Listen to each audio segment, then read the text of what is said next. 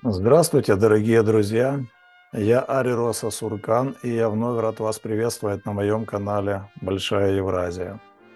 Так случилось, что мы получили огромное количество жалоб и даже требований, что, мол, видео наши очень длинные и тяжелые. Посему мы, принимая во внимание ваши пожелания, э, запускаем серию коротких видео, которые будут называться «Сказки». Эти сказки до ныне невиданные и неслыханные, но с большим смыслом и имеющие отношение к нашей сегодняшней действительности. Послушайте их, пожалуйста, внимательно, они действительно небольшие, и вам многое станет, мы надеемся, понятным, и многое откроется. Ну что ж, друзья, поехали. Итак, сказка первая. Здравствуй, здравствуй, честной народ, работящий да да правды охочий, Верно забыли вы нас, скоморохов веселых, людей, забавляющих да правду несущих. А мы по миру ходили, новости собирали, да сказки сочиняли. И теперь вам расскажем, потешим. Сегодня расскажем сказочку о девице-красавице, в трех соснах заблудившуюся. Сколько правды в ней, только вам и судить. Жила-была девица, росла она в большой семье и горя не знала, отцом Богом и матушкой землей обласканная – зарею вставала, любовалась восходом красно солнышко. По хозяйству хлопотала, сестрам помогала, да их помощью не гнушалась, не брезговала. А по праздникам со всей своей семьей веселилась, а до жизни радовалась. Была наша девушка красивая и работящая, приветливая да душою чистая. Уж больно хороша она была, горем и несчастьями наученная, с природой и соседями в мире живущая – а посему от женихов отбоя не было. Много претендентов к ней хаживало, но не по большой любви, а все из скорости великой. Среди них была разная публика, в основном до достатка чужого жадная. С такими водиться все равно, что в крапиву садиться. Были такие умники, избранными себя кликающие, кто коварством в своем мире славился, кто на чужих пороках всегда наживался, да собратьев своих не жалеючи.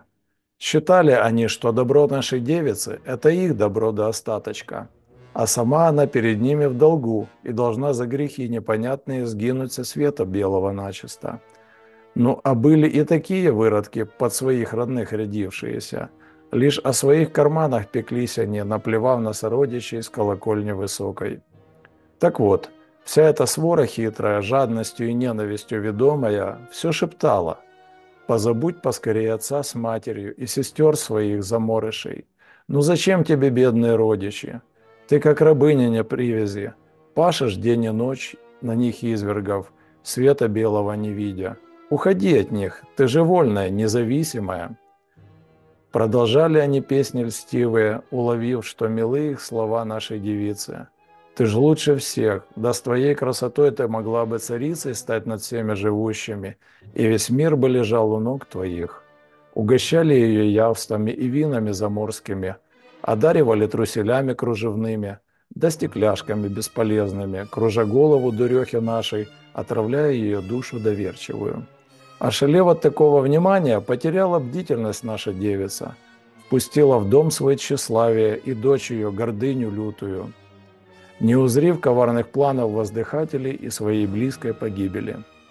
Позабыла она отца и матери наставления, что нельзя доверять чужакам мягкостелящим, жестко спать потом долго придется, и не помнит, как согласилась, да и соглашала лись, тоже не помнит.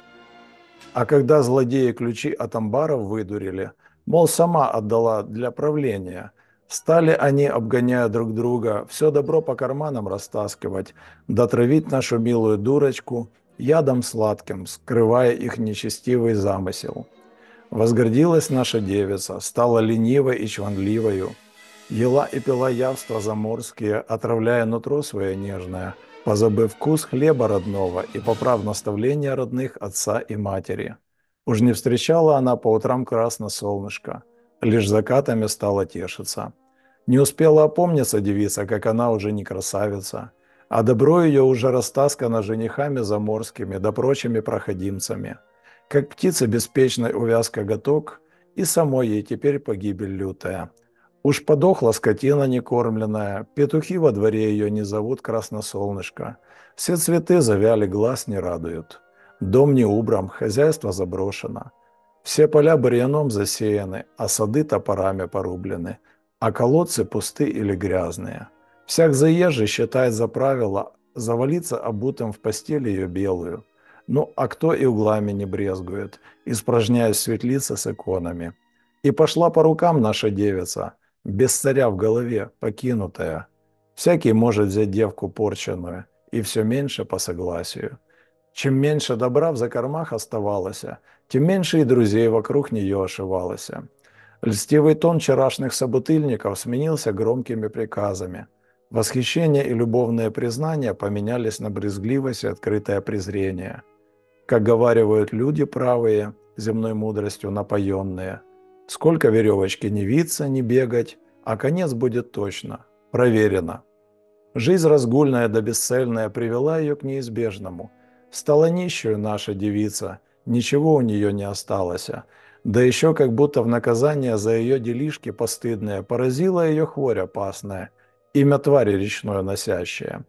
Делать нечего, кушать-то хочется, только где взять еды, непонятно ей. Ведь работать она разучилась, предаваясь разгулью беспечному. И пошла она побиратися по друзьям своим вчерашним, липовым, чести остатки на крошки хлебные выменивать. Все надеялась, что примут ее в заморский круг общения. Но не давали ей ни воды, ни хлеба, даже черстого. Говорили – ты же голая и не равня нам, небожителям. А иные кормили лишь обещаниями, что помогут обязательно, только в долг большой, да и за услуги грязные. Ей бы надо образумиться, доброгнать гордыню с тщеславием, вернуться к родне и покаяться, выпить ковш правды горькой от родичей, а иной раз и не единожды. И с соседями замириться, все проблемы решая по-доброму, в мире лучше быть да по правде жить, уважать других и любить родных. На рассвете встать, в доме вымыть все, да убрать весь свой двор от чужого мусора и продолжить свой путь, жизнь начав с нуля, с Богом в сердце и с царем в голове. Но не видит беды наша девица, злой гордынью ослепленная. Затуманенный разум спит ее, а очнуться ей и не хочется. Иногда приходило осознание, что творит она что-то ужасное – но бежала она от мыслей тех. Больно правда была страшной и очень болезненной. Так и ходит она кругами по свету белому, грязная и нечесанная, была вольная и независимая, а стала брошенная и никому не нужная, потаскухой соседями званая, отца родного позабывшая, землю мать за долги отдавшая, где теперь супостат правит уверенно, обильно кровью ее поливаючи. И куда идет горемычная, уж давно она и не знает и не ведает. Позабыла, какого она роду, племени, и откуда пришла, где родня ее. Что притих народ, или узнал ее? Может, то с девицей той дружится? Но если кто и себя узнал, то не все в этом мире потеряно.